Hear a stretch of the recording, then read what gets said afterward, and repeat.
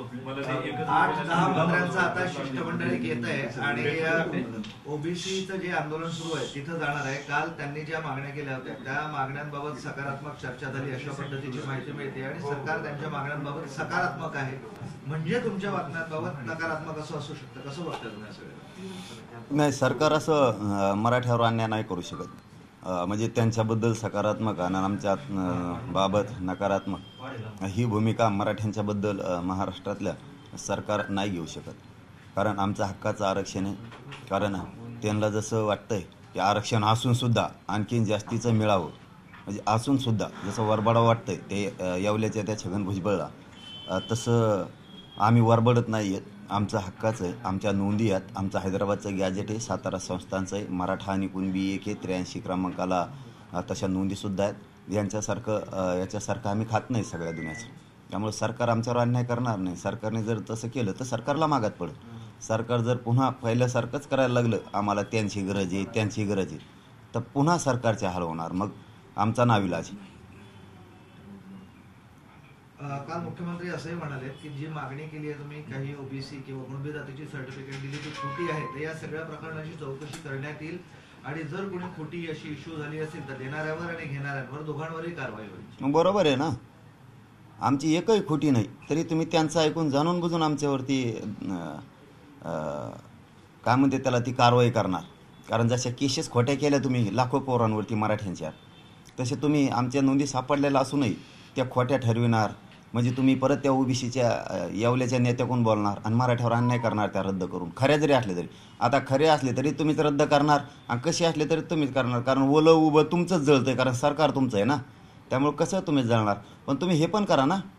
ज्या मंडल कमिशननं चौदा टक्के आरक्षण दिले त्यांना जे रूल दिले होते त्या रूलनुसार त्यांनी आरक्षण दिलं की नाही ती चौकशी करा आणि त्यांच्यावर कारवाई करा. तेही चौदा टक्के रद्द करा. त्याच्यावरती पण कारवाई करा. मंडल आयोगावरती सुद्धा कारवाई करा. दिलंय चौदा टक्के. त्याच्यानंतर ज्या नेत्याने दिलंय ते एकोणीसशे चौऱ्याण्णवला त्याच्यावरही कारवाई करा. तेही सोळा टक्केवरचं रद्द करा. करा ना. ते का जमत नाही? म्हणजे ते खरं धरता का तुम्ही? म्हणजे द्वेष जात आणि जातीवाद हे कोण वाढीत आहे? तुम्हीच वाढायला लागले ना? आणि परत आमच्या मराठीवर ठपकाट होणार तुम्ही. म्हणजे खोड्या तुम्ही करणार आम्हाला. तेरा टक्के आरक्षण तुम्ही दिलं तुम्हीच रद्द केलं. आता हे दहा टक्के हे द्यायच्या अगोदरच कोर्टात याच्यात याचिका दाखल झालेली म्हणजे हेही जाणार. मग आम्ही बोललो की तुम्ही आम्हाला जातीवादी म्हणणार. म्हणजे खोड्या तुम्हीच करणार. आता आमच्या नोंदी सापडल्या सत्तावन्न लाख. प्रमाणपत्र देणार तर ते देण्याऐवजी तुम्ही ते रद्द करणार. म्हणजे खोड्या तुम्ही करायला लागले. आणि का रद्द केल्या असं आम्ही विचारलं मग आम्ही जातीवादी. म्हणजे तुम्ही कसे वागा? तुम्ही कसे वागा? म्हणजे नाही का एखाद्या जिल्ह्यात असतं बघा मराठ्याला खूप त्रास द्यायचा. आणि कमवून दिला आम्ही विचारलं का आम्ही जातीवादी. आणि तुम्ही आमच्या पार मागं लागा. तसं झालं हे म्हणजे तुम्हीच करो हम करो ते काहीतरी आहे ना कायदा. तसं झालं खेळ आता. तुम्ही सांगताल तेच. नसतं मग नाही ऐकलं की तुम्ही जातीवादी. आम्हालाच मतदान करा नाही तर मग जातीवादी. ते असं म्हणतात की मंडल कमिशनला विरोध करणं सोपं नाहीये. ते तुम्हाला झेपणार नाही पेलणार नाही कारण तो देशव्यापी विषय आहे. मग हे तुम्हाला रद्द करणं पेलणार आहे का? हे बी पेलणार नाही तुम्हाला. आणि तसले फुसके दाबा नका सांगू मला तरी? ते इथून मागं कसं झालं? काय झालं ते मला माहीत नाही. मी मराठ्यावर अन्याय होऊ देणार नाही. वेळेप्रसंगी मला बलिदान द्यायची वेळ आली तरी देईल पण मी भेणार फिरणार नाही. आणि पेलायचं आणि फालायचं आणि ते शिकायचं नाही मला. मी सामान्य माझ्या करोडो मराठ्यांकडून आहे आणि माझा समाज पाठ पुरवायला खंबीर आहे या सरकारची आणि माझ्या पाठीशी खंबीर आहे. मी समाजाची पाठराखण करतो. गोरगरीब समाजाचे मराठीचे पोरं मोठे झाले पाहिजे म्हणून लढतोय. माझा समाज एक आला ही यांची लय पोटदुखी. प्रचंड पोटदुखी. काही नेत्याची पण आहे आणि सरकारची पण आहे. की हा मराठा एक येत नव्हता एक आला मतात रूपांतर झालं ते यांना मला हटवायचं आहे त्यामुळे त्या धमक्या मला नका शिकू तुम्ही. कोणाला काय केले काय? तुम्ही रद्द केले आणि मग तुम्हाला सोपं आहे का? म्हणजे तुम्ही काय चिल्लर समजता का आमच्या जातीला? आतापर्यंत ओबीसी मध्ये आरक्षण देऊ नका यासाठी विरोध होता. मात्र आता थेट नोंदीच रद्द करा. हीच प्रमुख मागणी आहे ओबीसी नेत्यांची पाहिली तेच कळलं ना. स्वतःला जातीवादी नाही म्हणायचं आणि याला काय म्हणायचं? हं? याला काय म्हणता? हे ते यांना दोष नाही हो. मी देणारच नाही. माहीत झालंय मला. आता काल तर तो जाहीर बोलला यावल्यावर ते लोक मय आहेत म्हणला. मी मीडियाच्या बांधवात ऐकलं ती. मय लोक आहेत म्हणला ती. तू कमून प्रश्न विचारतो बार बार ते मीडियाच्या कोणत्या तरी बांधवलाच म्हणत होता. तू कमी विचारतो मला बार बार ते म्हणत होता काहीतरी त्याला तर. मी जाणार आहे. मये पोर आहेत ते. मये फंटर आहेत म्हणतो देऊ फंटर म्हणजे काय असतं कोणाला माहीत आता? मये लोक आहे म्हणतो देऊ मग याचा अर्थ यांना काय आता बोलून उपयोग आहे? त्याला काय आहे? या छगन भुजबळला धनगर बांधवात आणि मराठ्यात भांडणं लावायचे. हे काम तो करणार. आहे गोरगरीब धनगर बांधवात आणि गोरगरीब मराठ्यात भांडणं लावून तो मोकळा होणार आहे आणि तो घरात बसणार आहे आणि वाद लावणार. आहे यांच्या लक्षात आहे ना आपण कोणासाठी काम करतो आणि हे वाढायला लागले मी आत्तापर्यंत एकाही धनगर बांधवाच्या नेत्याला बोललो नाही. याचा अर्थ असा नाही की मग त्यांनी काही पण करावं. गोरगरिबांच्या मराठ्यात अन धनगरात वाद लावायचं काम तेव्हा करायला लागला महे लोक म्हणून. आता त्यांनी जाहीर सांगितलं आणि मी हे तुम्हाला पाच दिवसापूर्वी म्हणलो होतो ते पुरस्कृत आहे सरकारच्या म्हणजे तेव्हा सरकारच आहे ना. त्यात एक दिवस पटण्यासारखी गोष्ट नव्हती त्या दिवशी ती. कारण मला ही खात्रीलायक माहिती मुंबईकडूनच मिळाली होती की हे दोन चार जण आहेत. आणखीन त्या वेळेला दोन जोडं भेटले आमचे मराठे म्हणायचे त्यांना पहिल्यांदी की आमचं आरक्षणाचं तेवढं बघा तेवढं आरक्षण द्या बरं का. तर ते भाषणं ठोकायचे तर आम्हाला. आम्ही मराठा विरोधी नाहीत. निवडणुका आले कीच आम्हाला मराठा विरोधी ठरतेत मला जातीचं ठरीत असं कसं काय होतंय? पडला की नाही बुरखा उघडा मराठ्यांनी मतदान केलं त्यांनी.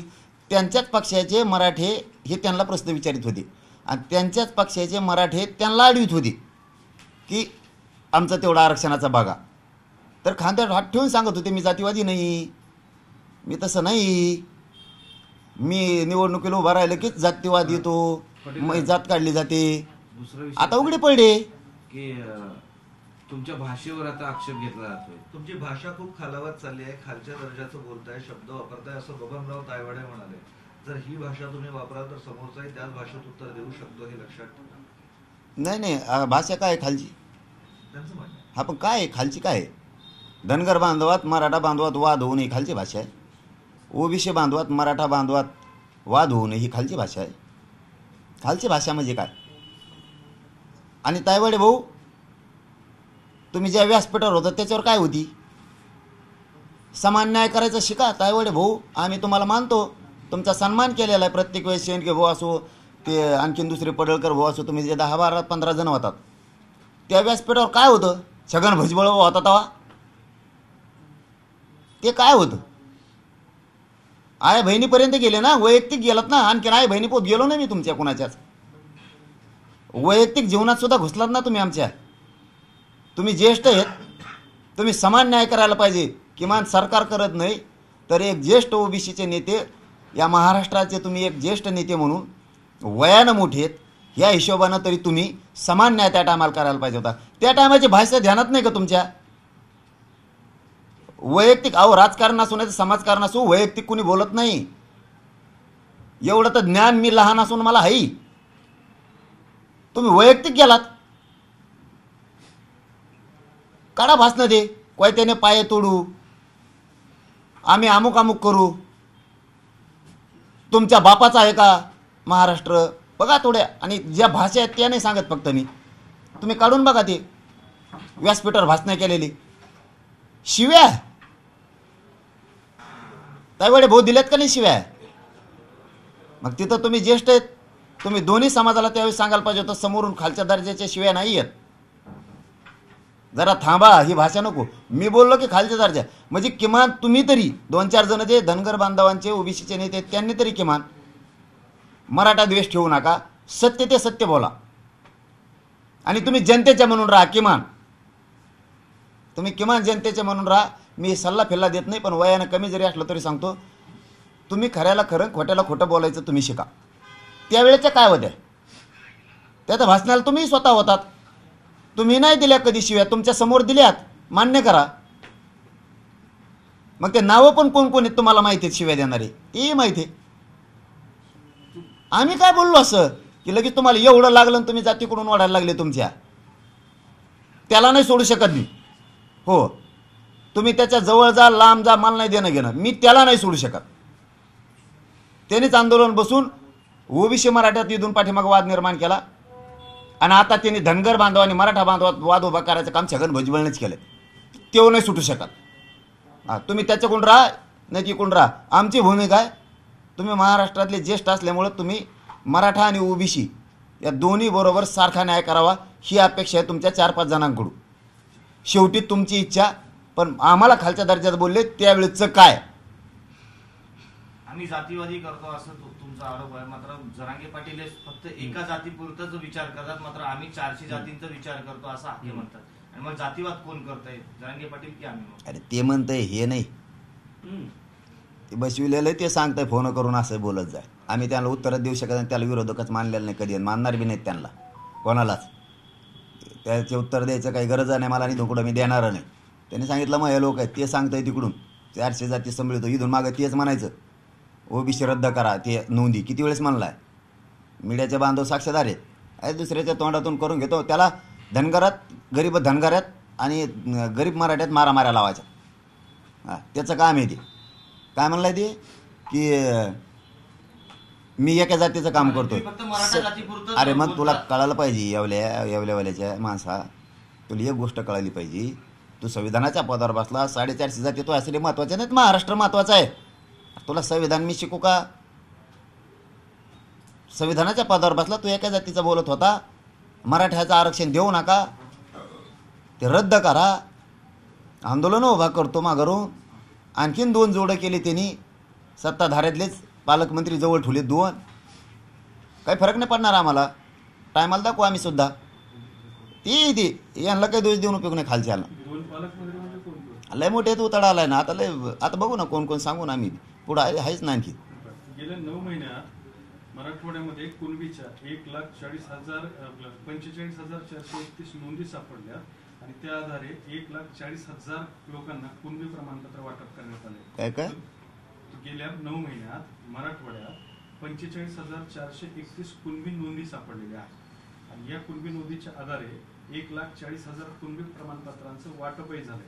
आणि तुम्ही जो सगळ्या सोयऱ्याचा आग्रह धरताय ते जर का नियम लागू झाला तर कदाचित मराठवाड्यातल्या कोट्यावधी लोकांना कुणबी प्रमाणपत्र मिळू शकतं? हा, मग म्हणूनच अंमलबजावणी करायची म्हणतो ना. ते नको म्हणतो. आणि ते छगन भुजबळ म्हणतो साडेचारशे जातीचा मी काम करतो. बरं साडेचारशे जातीचं काय ना करीना? जातीवादाच तरी बाकीच्या सोडल्या ना. बाकीच्या सोडल्या ना. साडेचारशे गोड लागा त्यात मराठ्याने काय केलं रे भाऊ तो? तो धनगर बांधव आणि मराठ्यात वाद लावायला लागला. एक घेऊन टाका ना मराठीची. काय द्वेष आहे तुम्हाला एवढा? भाऊ हे म्हणता ना येऊ द्या ना. अरे उलट तो मोठं मन करायला पाहिजे होतं छगन भुजबळनं. येऊ द्या मराठीसुद्धा मराठ्याचा सुद्धा नेता झाला असता तू. ते नाही केलं आणि मला जातीवादी म्हणतो. जातीवादी नाही. आमचं चाललंय बरोबर चाललंय. सगळ्या स्वयंची अंमलबजावणी सरकारला करावी लागणार आहे. सरकारने नाही केली सरकारला मराठीची नाराजी परवडणार नाही. एकट्या येवल्यावाल्याचं ऐकून. मराठा आणि ओबीसी वादावर संजय राऊत असं म्हणाले की मागासले पण सर्व समाजामध्ये आहे कोणाचे ताटातले काढून कोणाला देऊ नये ही शिवसेनेची भूमिका आहे. आमच्या ताटातलं घेतलंय ही आमची भूमिका आहे. कारण अठराशे चौऱ्याऐंशीपासून आम्ही येत स्वातंत्र्य मिळाल्याच्या नंतर एकोणीसशे सदुसष्टला आणि नव्वदला यांना आरक्षण दिले आधी कोण? आमच्या ताटातलं आम्हाला परत द्या. हिसकून घेऊन पळले. पाच पन्नास जण आले. आम्ही एकटंच होतोच बसलेलो जेवत. आलं ना आमच्या सगळ्या भाकरी घेऊन पळलं.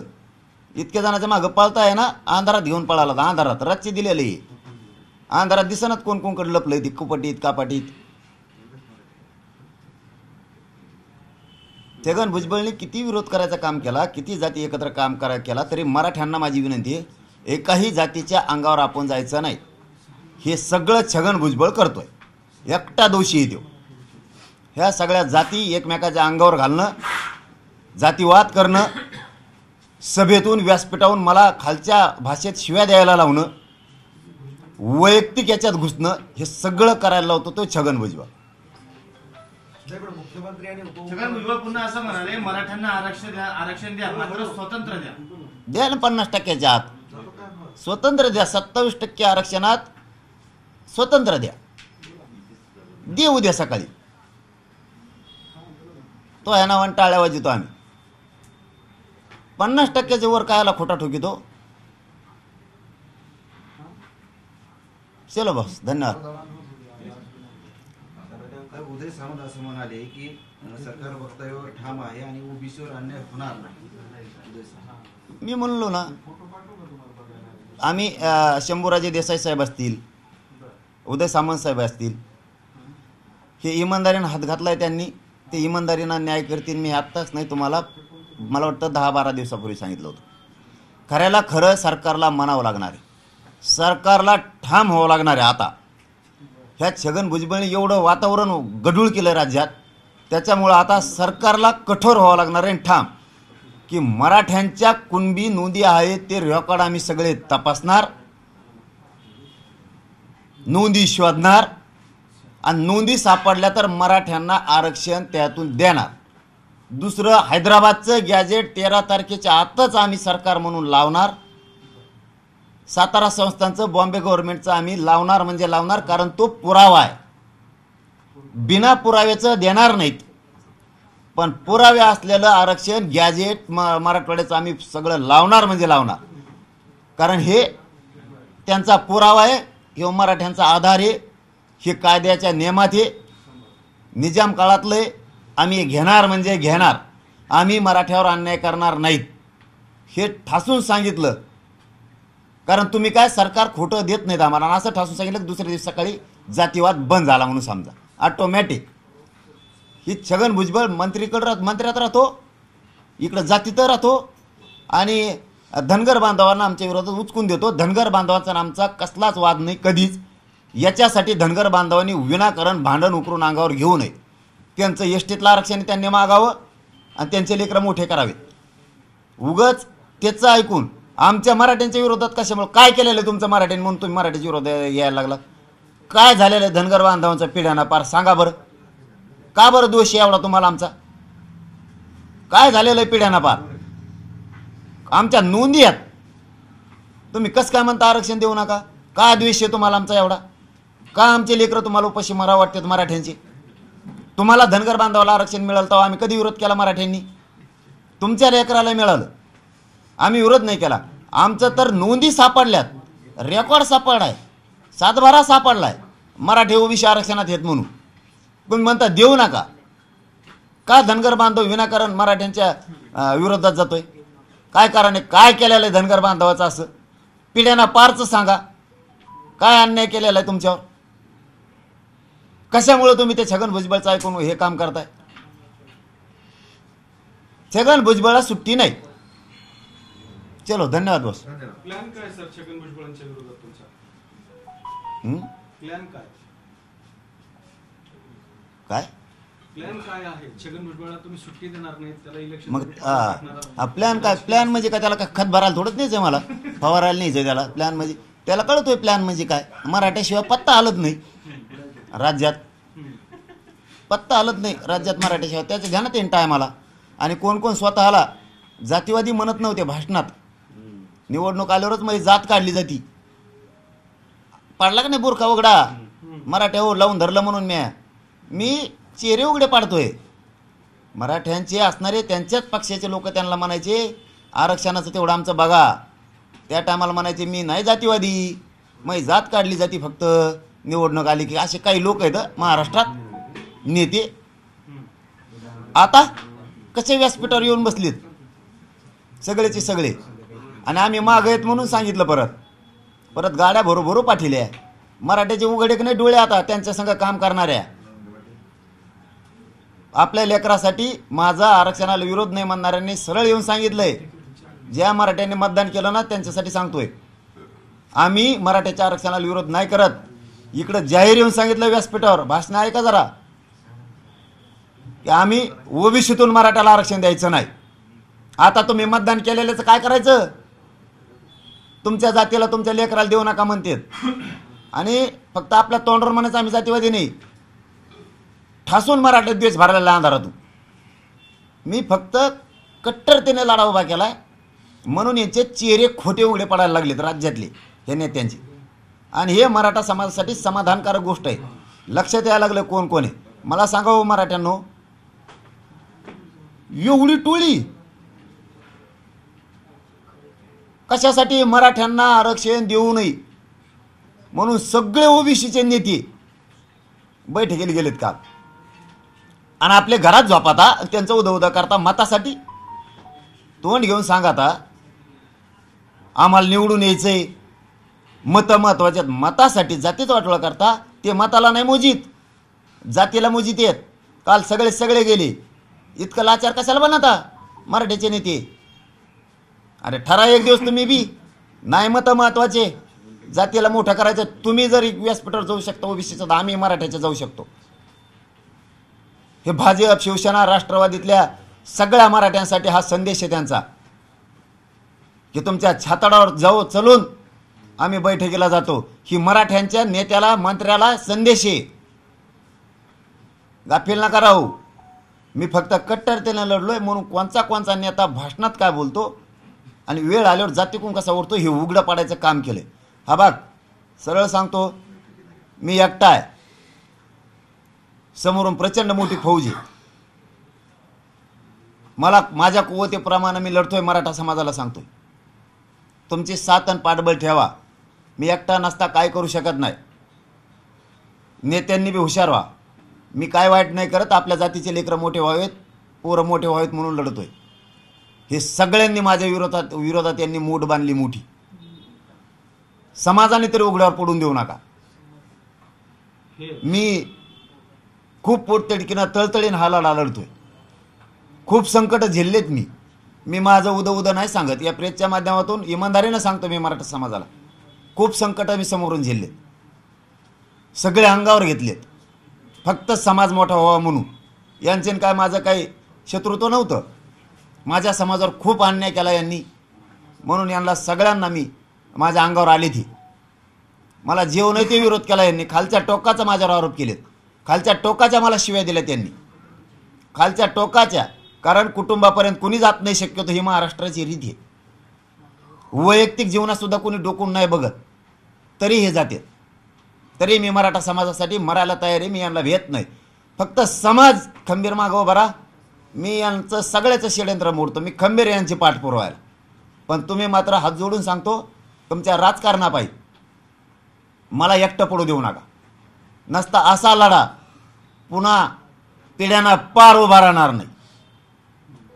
कधीच उभा राहू शकत नाही असा लढा आणि इतका कट्टर. नसता दहा पाच रुपये दिले तरी माणूस फुटवतो एखादं पद दिलं तरी माणूस फुटवतो. मी खूप गोष्टीला ठोकर मारलेली आहे मराठ्याला माहिती. माझ्या जातीची शान वाढावं म्हणून मी यांना सगळ्याला ठोकर मारलेली. माझ्या जातीची इज्जत वाढावं माझ्या गोरगरिबाला किंमत यावा माझ्या मराठ्याला त्रास होऊ नये म्हणून मी खूप वादळ झेललेत खूप संकट मोठमोठाले पेललेत. मी समाजाला नाही सांगितलं. मी झुंजतोय तरी पण. सगळेजण सपोर्टला उभे राहा आता. जात आता यांनी खिंडीत पकडली अडचणीत आणली.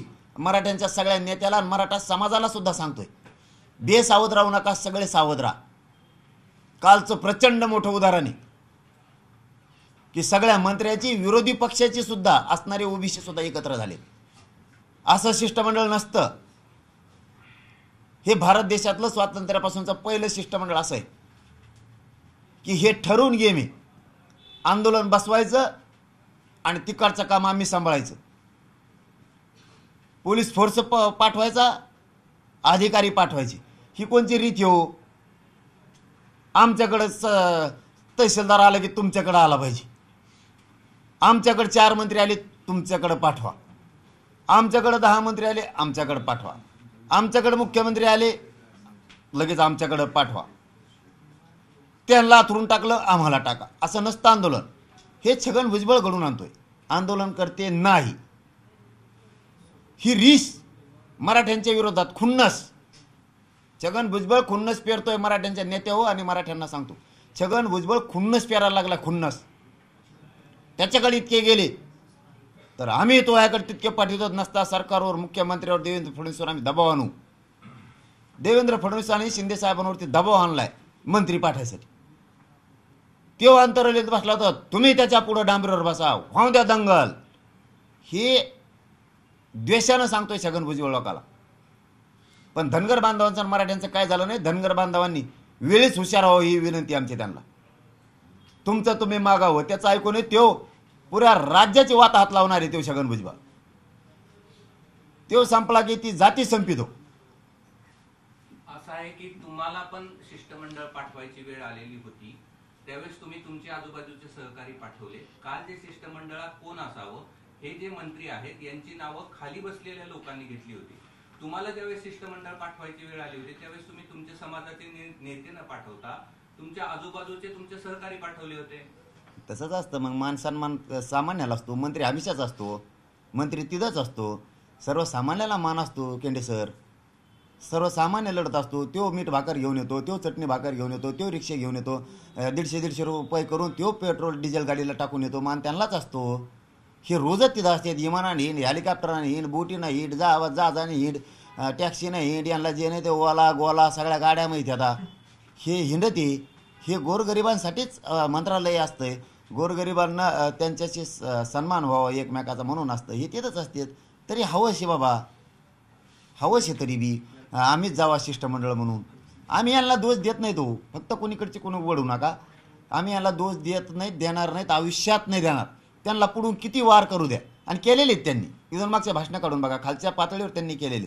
आम्ही त्यांना विरोधक मानलेलं नाही त्यामुळे पुढे मानणार नाही. त्याला सुट्टी नाही. एक मुद्दा असा आहे की हे सगळे काल ओबीसी नेते सगळ्या पक्षातले एकत्र झाले बैठकीला उपस्थित झाले. मराठा समाजातही खूप मोठ्या प्रमाणात नेते आहेत कार्यकर्ते आहेत आमदार आहेत खासदार आहेत. तुम्ही प्लॅनिंग करण्यामध्ये जबरदस्त आहात. तुम्ही पाठीमागच्या काळात जे काही तीन चार आंदोलनाचं प्लॅनिंग केलं ते जवळून बघता. त्यावरून सांगतो हे आमदारांना तुम्ही अशी काही प्लॅनिंग सांगाल का? की बाबा या पद्धतीनं अशा पद्धतीनं तुम्ही लोकप्रतिनिधी म्हणून तुम्ही तुमचे व्यवहार आणि व्यवस्था ठरवा त्या पद्धतीनं त्या सगळ्या घडत असलेल्या घडामोडीला पुढे जा तोड द्या किंवा त्याला विरोध करा किंवा मराठा आरक्षण मिळण्यासाठी अशा अशा पद्धतीने काम करा. असं काही प्लॅनिंग द्याल काय तुम्ही? केंडे साहेबांनी सांगितलं ते थोडं राहिलं. हे किती गेले तरी ते दुःख नाही. दुःख हे की समाजासमोर मेसेज गेला की हे आंदोलन छगन भुजबळनंच बसवलेलं आहे. छगन भुजबळच्या पाठीशी आणि सगळे पक्षातले काही नेते पण आहेत. सत्ताधाऱ्यातले पण ही मेसेज गेला आणि त्याचा एक फायदा झाला की माझा समाज आणखीन जागृत झाला. जर हे ओबीसीचे नेते जात असतील तर आपण सुद्धा आता गावखेड्यातून एक झाला पाहिजे. राहिला यांचा प्रश्न. तेरा तारखेच्या नंतर मी सांगितलेलं निवेदन आणि निर्णय आम्ही केलेलं आडाखे आम्ही बांधलेले हे बघून सरकार तोंडात बूट घातलं पाहिजे. अवाक झालं पाहिजे अवाक. फक्त यांनी सरकारनं आम्हाला धोका द्यावा. सरकार अवाक झालं पाहिजे. की या पोरांनी बांधणी केली किती डेंजर धन्यवाद.